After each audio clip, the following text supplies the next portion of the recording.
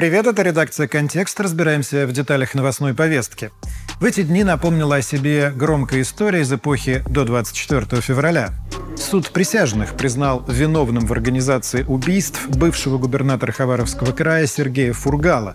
Это первый случай, когда глава региона осужден за убийство.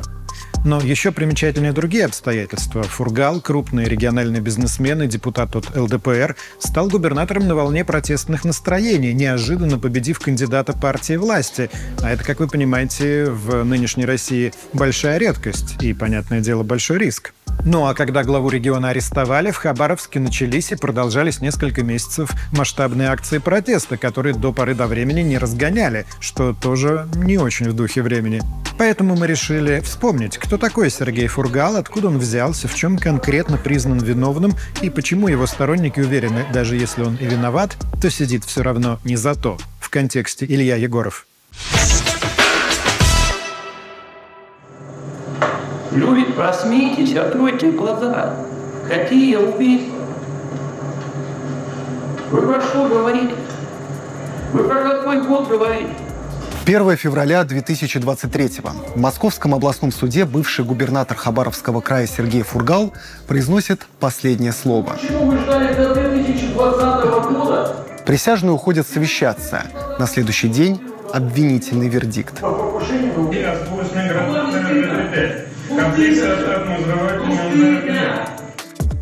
А это оперативные кадры 2020-го. Действующего губернатора задерживают. Многие детали уже подзабылись, поэтому рассказ о деле Фургала стоит начать, наверное, с напоминания, а кто он, собственно, такой и как внезапно стал губернатором. 16 июня 2018 года правительство внесло в Государственную Думу законопроект об изменениях в пенсионной системе. 2018 год. На фоне непопулярной пенсионной реформы партия власти «Единая Россия» теряет рейтинги. Да, там на самом деле мы же видели, по всей России эта система стала ломаться.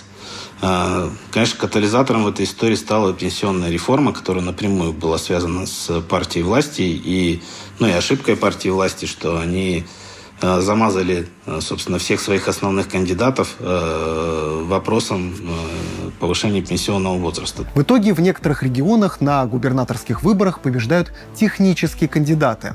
Так называют тех, кого выдвигают ради чисто номинальной оппозиции. В Хабаровске многолетний глава региона Вячеслав Шпорт выходит во второй тур вместе с депутатом от ЛДПР Сергеем Фургалом.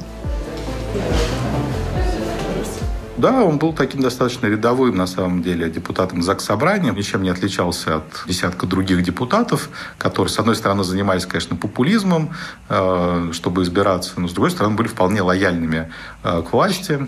Вот. И, мало того, лояльными, прежде всего, конечно, федеральному центру. Фургал в Хабаровске был довольно известным бизнесменом. Об этом чуть позже.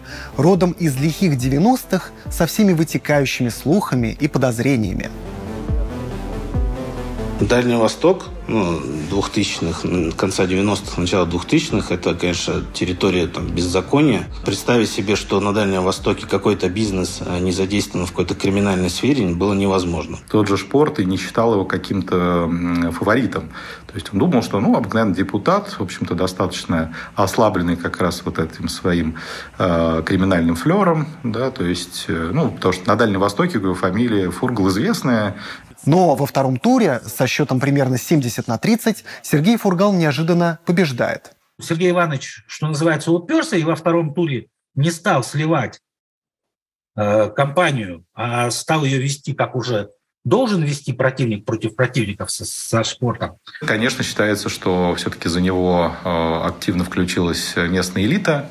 Вот, она в Хабаровском крае все-таки достаточно богатая. э, вот, ну и, соответственно, считается, что привлеченные э, средства тоже помогли эту победу одержать. Вот, поэтому э, немножечко везения и, в принципе, достаточно грамотный расчет э, тогда помогли стать Фургову э, губернатором. будут работать люди, только те, кто не замешан в каких схемах, не замешан в каких э, махинациях и хищениях, Важный момент. В некоторых других регионах, где взяла верх системная оппозиция, ее кандидатам под разными предлогами не дали прийти к власти. А вот ЛДПРовца Фургала пропустили. Фургал все это время пытался донести некую картинку, что все-таки он не, не такой необособленный да, сепаратист, который засел тут в Хабаровском крае и хочет да, выстроить какую-то параллельную систему управления. Вот, хотел показать, что вот, несмотря на приход к власти, что называется, против шерсти, вот, он компромиссный и готов сотрудничать. В принципе, если его бэкграунд работы в ЗАГС Собрании, этому был свидетельство.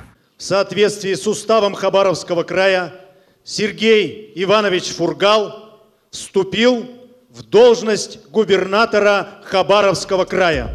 48 лет, родом из села в Амурской области. Новый губернатор Хабаровска сделает себе и состояние, а потом и имя на торговле металлоломом. Он а, работал там а, сельским врачом, вот. Потом он уехал во Владивосток а, в конце 90-х для того, чтобы на корабль поехать врачом, вот, ну, чтобы денег больше было. Вот. Но а, пока он ждал вот эту вот отправку на корабль, он просто пошел подработать а, на участок а, сборщика металлолома во Владивостоке. И там же как раз хозяином потом этого участка, на котором он работал, оказался Мистрюков. И Фургал, работая у него э, начальником участка по сбору металлолома, э, потом, значит, э, они создали совместную компанию уже в городе Хабаровске. Бизнес на металлоломе, возможно, и не звучит слишком масштабно, но на этом делались и делаются миллиарды. А еще это бизнес с отчетливой репутацией криминального. Все, что связано там с металлопереработкой, ну, то есть понятно, что это такая борьба да, за э, этот ресурс, за сырье. Что касается портов, то же самое. Да, то есть это же все наследие 90-х, когда советскую инфраструктуру делили э, люди, близкие к криминалу. Тем более на Дальнем Востоке, где, как мы уже упоминали, в конце 90-х, начале 2000-х, по сути, было две власти. До, до 2004 года в Хабаровском крае действовала э, преступная группировка под названием «Общак», комсомольская на Амуре группировка. Лидер общака – один из легендарных воров в законе Евгений Васин, он же Джем, он же Батя. Поэтому хорошо, когда мы вместе, вместе за хорошее идем и боремся против плохого. Нет, бизнес Фургала никогда не пересекался с комсомольским общаком. Когда у нас была волна э, убийств предпринимателей, похищений там, и так далее, прям вот волна, и даже официальное сообщество предпринимателей, бизнесменов об этом заявляли, в, в газетах писали в органы власти, что защитите нас там от разбула и, и, и так далее. А вот Михаил Тимофеев, авторитетный бизнесмен по кличке Тимоха. Когда Сергей Фургал вступит в ЛДПР и станет депутатом, Тимофеев некоторое время будет числиться его помощником. Там же у них э, в те, в те, в те времена эти корочки раздавались направо и налево. Ну, а опять же, специфическая партия ЛДПР. Принято у них яшкаться с людьми, которые с э, правопорядком ну, не слишком дружат, в том числе и с международным. То, что коммерсанты платили дань преступникам, это, это факт. Ну, то есть это неизбежный факт. Понятно, что спустя времени эта история поменялась э, там, с изменением структуры э, вообще общероссийской, да, когда правоохранители стали самостоятельно крышевать эти предприятия, собственно, заменив общак с собой. Начав с одной площадки по сбору вторчермета, Сергей Фургал и его партнер Николай Мистрюков построят целую империю. Холдинг «Торекс» станет крупнейшим металлотрейдером в регионе с полусотней площадок и выездным офисом в Москве. Вторсырье Фургал и Мистрюков поставляли на единственный в регионе металлургический завод, а в 17-м стали его хозяевами.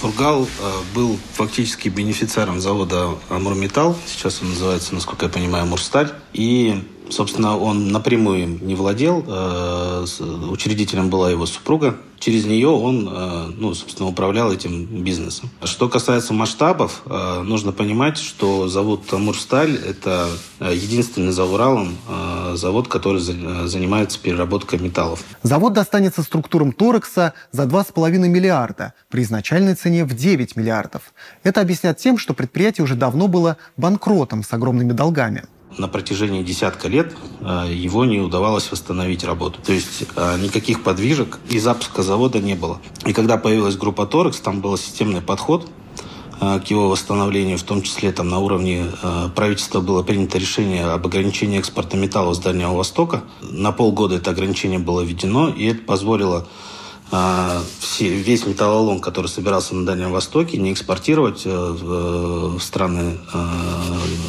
азиатские, а оставлять на Дальнем Востоке. Итак, из коммерсантов Сергей Фургал пойдет проверенным маршрутом во власть, в депутаты сначала местной, потом Государственной Думы. Далее, как мы уже сказали, сенсационно победит на губернаторских выборах, а через полтора года его настигнет прошлое. Но поначалу казалось, все было очень даже неплохо. Началось с того, насколько, как сейчас помню, Фургал вступился за детей в школе, которых не кормят горячими завтраками, и лично говорил, вот горя... булочку, нам жалко булочку нашему там ребенку. Мы детей в школе по-разному кормим? По-разному кормим детей. Вы что? Это как вообще возможно? Два, два меню. Как понять два меню? Ну, для льготников и для... Мы, мы вообще понимаем, что мы делаем? Это декабрь 2018 года. Диалог недавно избранного губернатора с министром образования становится мемом в интернете.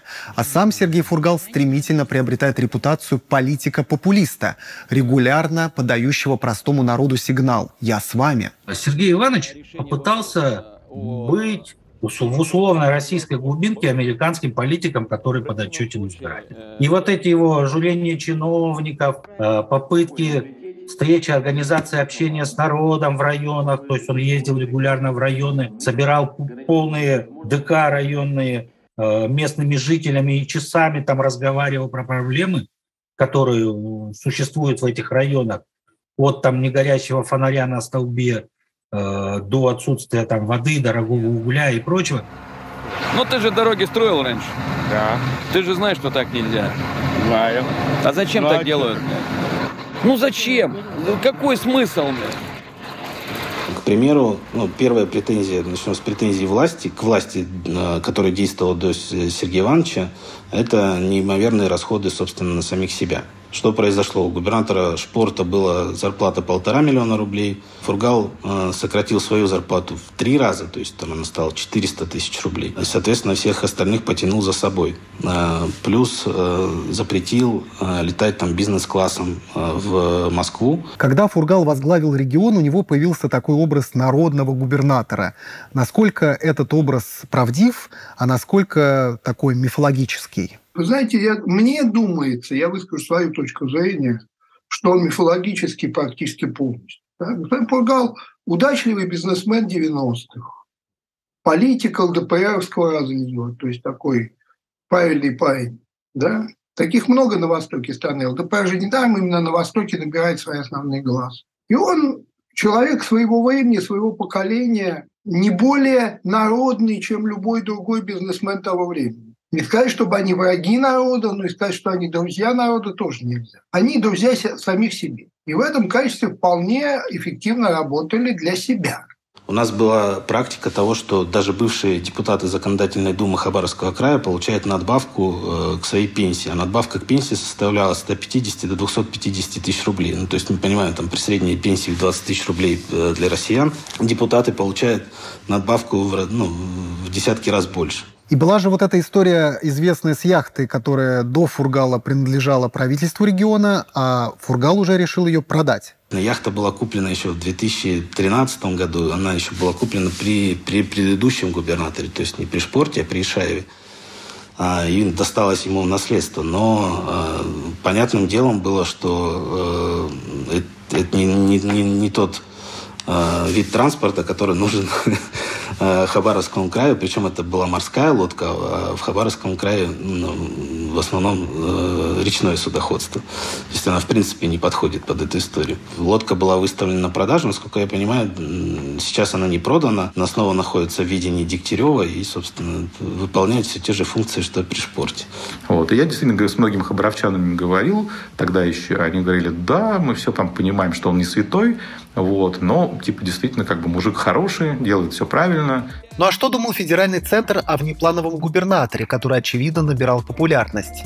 В сеть утекла некая запись, на которой человек, голосом похожим на полномочного представителя президента на Дальнем Востоке Юрия Трутнева, упрекает Фургала в том, что рейтинг губернатора растет, а президентский снижается. Подлинность записи, правда, официально не подтверждена. Я думаю, что Путин напрямую в конфликт не вмешивался, ну или в конфронтацию с Сергеем Ивановичем. Эту роль выполнял полномочный представитель президента Юрий Трутнев. Он был прямым антагонистом Фургала в период его губернаторства. В декабре 2018 года Владимир Путин своим решением переносит столицу Дальневосточного федерального округа из Хабаровска во Владивосток. Пресс-секретарь Кремля Дмитрий Песков объяснял перенос, цитата, «многими факторами». Я думаю, что у Путина поначалу отношение было вполне нейтральное, вот, но Путин обычно в, в таких случаях, когда в дело вступают силовики э, и другие интересанты, он как бы ориентируется на фактуру. Вот. И вот удалось ее собрать, удалось преподнести, значит, ну, соответственно, как бы тоже сантиментов особых, я думаю, он к Фургалу не испытывал. Вот. Поэтому э, из нейтрального это отношение, скорее всего, могло перерасти в негативное вот, ну, на фоне собранных материалов. Первое, что заявили нам при задержании Сергея Ивановича Фургала, э, официальный представитель Следственного комитета сказала о наличии неопровержимых доказательств. Следственный комитет России предъявил обвинение в окончательной редакции Сергею Фургалу. По версии следствия, Фургал является организатором преступной группы, совершившей в 2004-2005 годах покушение на убийство Александра Смольского, а также убийство Евгения Зори и Олега Булатова. Помните, мы говорили, что Сергея Фургала достало его прошлое. Озвученные сначала следствием, а потом и прокурорами обвинения касались ранних этапов бизнес-карьеры губернатора. Первое обвинение. В 2004 по заказу Фургала за миллион рублей пытались убить конкурента по металлоломному бизнесу Смольского. В него кинули две гранаты. Второе в том же году убит бизнесмен Зоря, у которого с компаниями был спор вокруг строительства гипермаркетов. Третье. В 2005-м убит бизнесмен Булатов, бывший партнер Фургала. Он якобы грозил тому разоблачениями. Киллер произвел на него там, порядка там, 7 или 8 выстрелов. И э, также, значит, это это убийство, значит, сторона обвинения приписала Фургалу, но только мотивировка была такая, что, а, значит, якобы Булатов знал э, что-то о совершенных ранее значит, преступлениях, и поэтому, значит, э, вот они его убрали, так сказать. Ключевой свидетель со стороны обвинения, который и рассказал следствию обо всех этих убийствах и покушении, это Владимир Першин, бывший сотрудник Хабаровского уголовного розыска. В 2016-м Першин был осужден за вымогательство, а в 2019-м вышел по УДО и дал показания против Фургала – он, э, собственно, стал давать показания о том, что он якобы вспомнил о каких-то разговорах Фургала и Мистрюкова, о том, как они заказывали людей, решали их судьбы, решали их убивать. Ну, то есть тот источник, который точно не является достоверным. Кто такой господин Першин? Значит, когда Фургал, э, значит, с Мистрюковым, когда вообще миф Хабаровск образовался, на тот момент должна была у них быть какая-то защита. Вот, защиту предлагали начала 2000-х, 90-е, защиту предлагали либо криминал, криминал, либо сотрудники милиции. А, значит, э, Фургал выбрал защиту сотрудников милиции. Значит, на тот момент а, Першин, он был начальник отдела, по-моему, по борьбе с бандитизмом или что-то такое, то есть а, он э, служил как раз в этот момент и он стал так называемой как бы их крышей. Вопросы он решал, если кто-то там хотел, не знаю, там рэкет, может быть, еще как-то, в общем, он решал эти вопросы, и просто, значит, МИФ Хабаровск выплачивали ему каждый месяц определенную сумму, там что-то порядка тысячи долларов, плюс какие-то его там расходы были еще. Вот по версии следствия люди по фамилиям Кадыров и Полей были исполнителями убийств и покушения а человек по фамилии Карепов – организатором. Что мы о них знаем и были ли они как-то связаны с Фургалом? Карепов э, был связан с Фургалом, знаком с Фургалом. А Карепов э, принимал участие в становлении политической карьеры Фургала, потому что Карепов э, на тот момент являлся помощником господина Лебедева, сына Жириновского. Вот, то есть это 2000, 2000-е года, и как бы непосредственно он как бы, ну, так сказать, помогал немножечко в становлении, когда Фургал, значит, решил пойти в политику. Аргументы сторонников, а позже и адвокатов Сергея Фургала сводятся к тому, что обвинения притянуты за уши. С бизнесменом Смольским прямыми конкурентами не были. С бизнесменом Зорей выясняли отношения через суд. Незачем было убивать. А бизнес-партнер Булатов стал жертвой других разборок. Вся суть процесса – это слова одних против слов других. Вот есть слова тех, э, кто вступил в сделку с обвинением. Да, он заказывал, да, он платил, да, он... А вот есть слова тех, с которыми Фургал то ли работал, то ли не работал, то ли был знаком. Нет, не заказывал, нет, мы никого не убивали, нет, я это не организовывал. Ну вот и вся суть процесса. Вещественные доказательства, они исчезли, испарились, они сказали, они утеряны. То есть граната не разорвавшаяся, на которой могли быть отпечатки пальцев. То есть ничего этого нет, все это утеряно. Пистолет, из которого убили Зорю, он был, он тоже уничтожен. Вот просто вы должны поверить на слово. Они причастны. Все. Но это юридические аргументы, а народные можно вкратце сформулировать так. Да кто же в ту эпоху был без греха? Фургал в этом плане э, такая плоть от плоти дальневосточной э, э такой понятийного бизнеса. Вот. И неспроста, кстати, когда митинги в его поддержку устраивали, да, там был такой казус, что ты вышел с плакатом, типа, убивать это нормально. Вот. Это был такой, значит, призыв дальневосточников, которые действительно просто привыкли к этой истории. Ну, то есть, типа, в 90-е все убивали. 11 июля, спустя два дня после ареста Сергея Фургала, в Хабаровске начались самые масштабные в истории города акции протеста.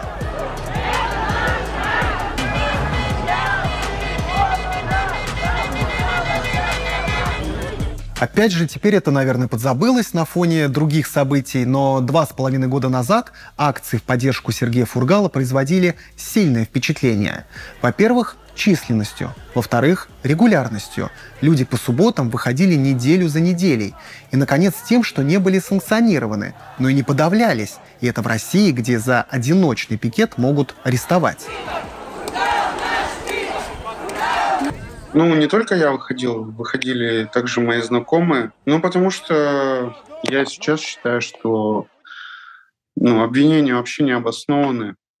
И вряд ли это он все сделал. Житель Хабаровска, риэлтор Алексей, типичный участник митингов. Считает Фургала народным губернатором, виновность не верит. Когда пришел Фургал, то есть э, начали происходить какие-то движения. То есть даже вот вопросы с недостроенным жильем, сейчас уже этот вопрос, то есть э, потихонечку-потихонечку решается. Ну, то есть толчок дал именно Сергей Иванович. Реально вот человек делал, вот как многие представляют себе работу работника администрации. То есть он старался, именно видно было, что он старается для людей.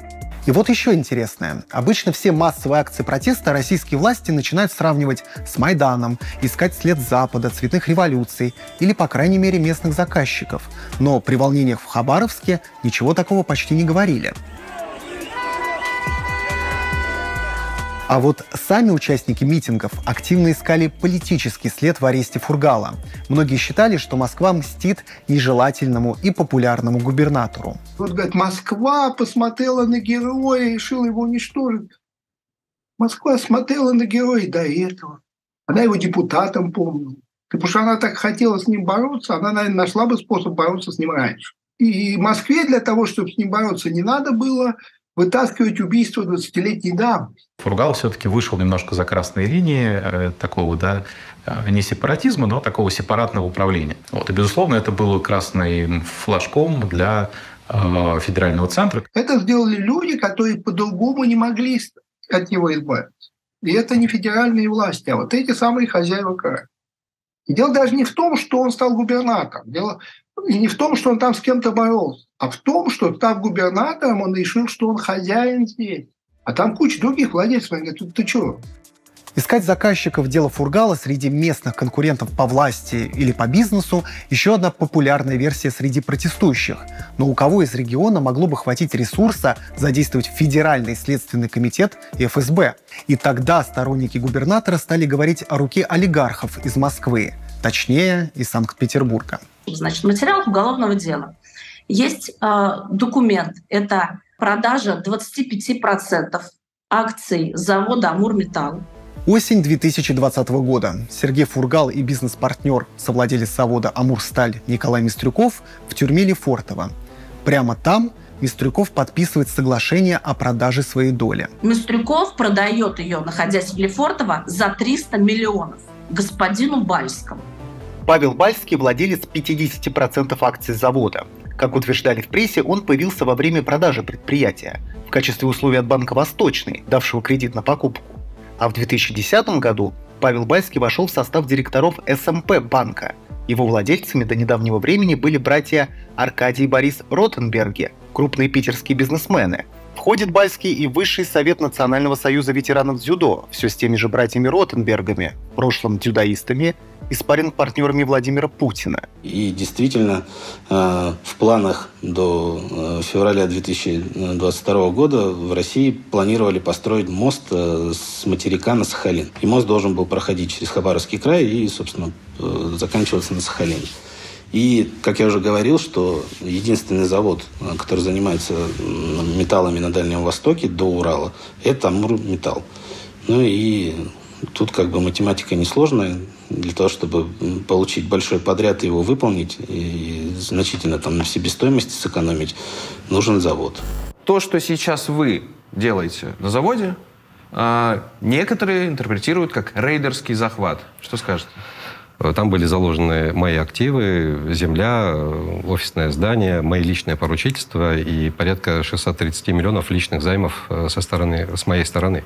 Поэтому говорить о том, что я рейдер, в отличие от госпожи Стародубовой и Мистрюкова, которые в этот бизнес, кроме своих поручительств, не дали ничего. Так или иначе, Амурсталь в итоге перейдет под контроль Павла Бальского, а бизнес-партнер Сергей Фургала Мистрюков, продав акции, заключит сделку со следствием, даст обвинительные показания против губернатора и выйдет до суда под домашний арест. Сам Фургал ничего признавать не будет.